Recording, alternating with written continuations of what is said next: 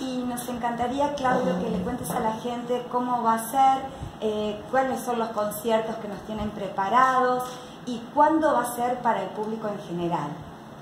Bien, eh, buenas tardes primero, quería decirte de que estamos eh, en un año especial porque Mozarteum San Juan cumple 40 años, que es nuestra 40 temporada desde la fundación Así que para nosotros es un año muy importante y queremos festejarlo en la medida que podemos a lo grande.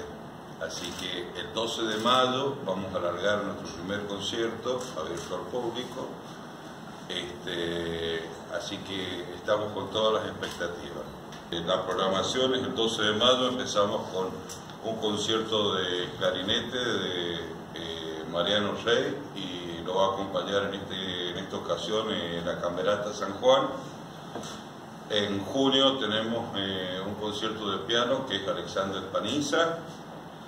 En agosto viene una Big Band eh, que hemos podido organizarla con Elmer Mesa, con gente de Mendoza y de San Juan.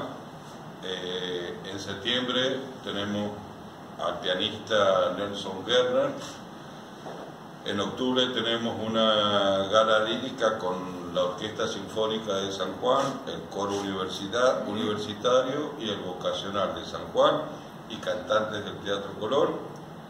Y vamos a terminar en noviembre la temporada con el ballet contemporáneo del Teatro San Martín de Buenos Aires, por eso tenemos a la invitada que es la directora del teatro, este, que nos va a facilitar la sala, bueno, el gobierno por supuesto nos ha apoyado muchísimo y dándonos este, todo lo que son los edificios públicos de, San Juan, que es este, el auditorio, el museo y el teatro.